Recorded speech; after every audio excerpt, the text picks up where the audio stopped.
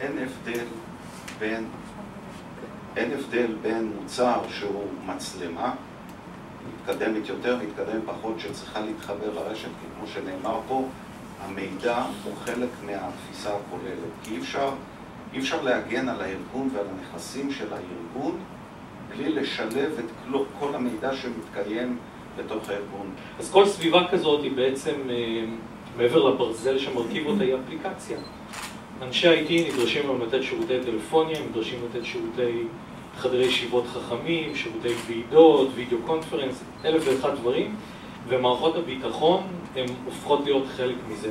עכשיו, זה לא אומר שהם צריכים אה, לנהל את הסביבות האלה, זאת אומרת, אפליקציית הביטחון, אם זה מערכת שוב מרכזית, שמציגה תמונה כוללת של המערכות ויודעת לבנות קורלציות, שאם אנחנו מזהים תנועה במצלמה ומקשרים אותה לאיזשהו חיישן שזיהה משהו אחר, יש אה, בעיקר בארגונים גדולים, קב"ט, או איזשהו מחלקת ביטחון, שהיא הצרכן של היישום הזה. ברמת התשתיות אין הרבה הבדל, כמו שמרכזייה או מערכת call center או חדרי ישיבות חכמים זה מערכות מורכבות שמבוססות על, על מערכות מחשוב עם המון תוכנה הדרך לשמור עליהם מעודכנים זה בעזרת חוזי שירות ושדרוגים שמתקיימים לאורך כל החיים של הסביבה הזאת. הדרישות שמגיעות היום מהנהלה כבר לא מדברות רק על, על צילום, אלא מה המידע והתוכן שיוצא מהצילום. אני אתן דוגמה. ברכבים למשל, יש מספרי זיהוי לרכבים. המצלמות הדיגיטליות החדשות יכולות לראות את המספר ולעבוד עם מערכות הדאטה כדי לזהות את הלקוח. ולכן לא, קשה מאוד להגיד היום שאתה יכול להפריד לחלוטין את הרשתות, כי איפשהו הצילום צריך להגיע למרכז הדאטה. ולכן ישנה, ישנה כאן אה, בעיה של אבטחת מידע שמה, שאנשי ה-IT צריכים לפתור אותה, כי הדרישה באה מלמעלה. היום יש גם, גם אם אתה מדבר על ארגונים לא גדולים, יש למנהלים אחריות, אחריות אם זו חברה ציבורית או חברה אחרת, יש היום למנהלים אחריות בפני כל מיני גורמים אחרים. מדברים על, על צורך בדיווח על אירועי אבטחת מידע. היום אירועי אבטחת מידע הם וולונטריים, לא מדווחים עליהם.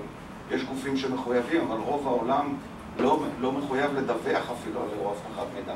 וזה חלק מהאבולוציה, לדעתי, אני מביע פה את דעתי האישית, גם הארגונים היותר קטנים בסופו של דבר יצטרכו לקנות חבילת שירות שתאבטח בצורה כזאת או אחרת את הארגון, לאו דווקא בכוחות פנימיים.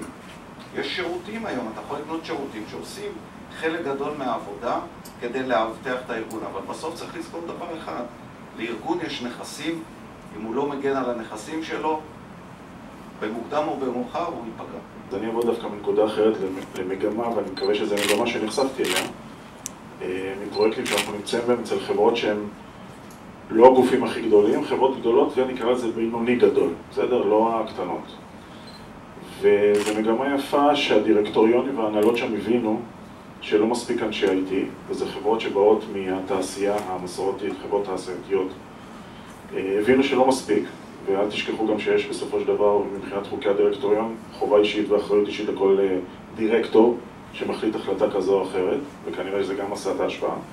והיום אנחנו מזהים לפחות אצל שלוש לקוחות כאלה, שלושה לקוחות כאלה, אה, הקצאה של כסף בתקציב עבור תוספת של כוח אדם נוסף לטובת, נקרא לזה OT, הרשתות התפעוליות. זאת לא מספיק מה שה-IT עושה היום בתפעול השוטף, הביאו, ואני ראיתי את זה, הביאו עוד בין שניים לארבעה אנשים בכל ארגון שאני נמצא כרגע, שיטפלו ספציפית או ישימו יותר מה שנקרא דגש על נושאים שהם לא, אה, כמו, ש, כמו שאמרתי, IT, IT רגיל, תחנות קצה, שרתים וכולי, וביחד, אז קודם כל זה, זה מבורך ואני מקווה שזה מגמה, כי זה נותן איזשהו בוסט כרגע, וזה אומר שההנהלות למעלה מבינות שצריך גם להתייחס לזה, אפרופו מודעות. וכן, זה מתחיל לקרות, לא יודע, לא יודע אה, אם זה הולך, הולך וגובר, אבל כן, מתחילה איזשהו, אה, לא נהירה, אבל איזשהו זליגה חיובית לכיוון הזה עם אנשים שיבואו ויטפלו או ישימו דגש יחד עם אנשי IT על הסביבות האלה, שעד היום היו יותר מוזנחות. בפועל, ב-15 שנה האחרונות, אה, ויותר, אני כבר 20 שנה עוסק בלהביא אבטחת מידע וסייבר, בעיקר לסביבות המיוחדות האלה, היה בעיה מסוימת שבעצם לא טופלו הדברים כמו שצריך. ולכן, כשאנחנו מדברים היום על מגמות באיומים, מדברים על הסביבה המסחרית, על בנק, על ארגון, על רשת retail, שמישהו רוצה לפרוץ להם, הוא צריך להפעיל הרבה מאוד תחכום, למצוא את ה zero day, למצוא את הפריצה המורכבת. בעולמות של וידאו, של סנסורים, של תשתיות קריטיות, לא צריך את כל זה. יש מודל היום שאנחנו קוראים לו living off the land, זה אומר שהמערכות הם כל עוד פגיעות קיימת, חלקם בגלל שהם לא תוכננו מההתחלה לאבטחת מידע, וחלקם כי הם לא מיושמות בצורה מאובטחת.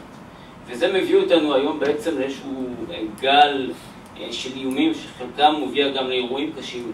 אבל אם אני אפגע במערכת הטמפרטורה ואפגע במערכות ה-UPS, אני כבר אעשה משהו, איזשהו אירוע סייבר שהוא destructive, הוא יוצר נזק. אבל יכול להיות הרבה הרבה יותר גרוע כאשר אני אשתמש למשל בפיד קריטי שמגיע מווידאו, או יחבר בין שילוב התקפה למערכת נעילת דלתות למערכת כיבוי אש, ואז האיום כבר הופך להיות מסוכן ברמה אה, הפיזית. אה, בסופו של דבר, בכל המערכות שאנחנו חיים בהן, אה, והווידאו הוא, הוא תחום מאוד מאוד קריטי, בו המשמעות היא לא משמעות באיזשהו טרנזקציה דיגיטלית שמישהו יגנוב, המשמעות היא פגיעה בתשתית פיזית, והמשמעות היא גדולה מאוד.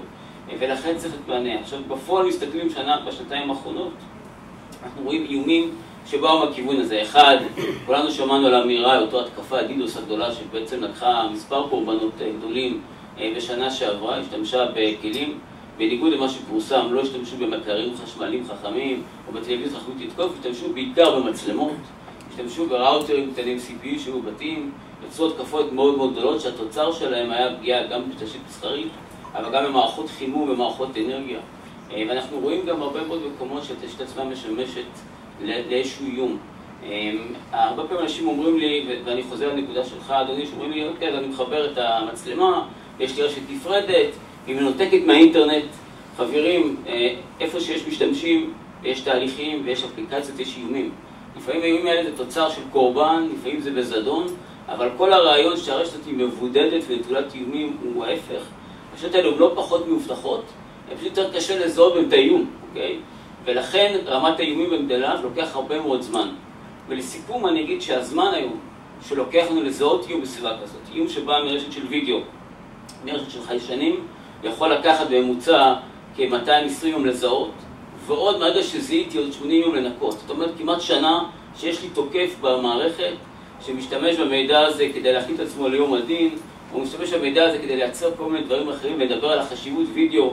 בסופו של דבר זה מדיה מאוד מאוד, אה, אה, מדיה מאוד עשירה, אה, שיש בה גם נושא של השפעה על דברים אחרים, וזה הרבה מאוד זמן, וזה איום שצריך בחשבון, והמשמעות פה באמת גם על התשתיות וגם על האפליקציה.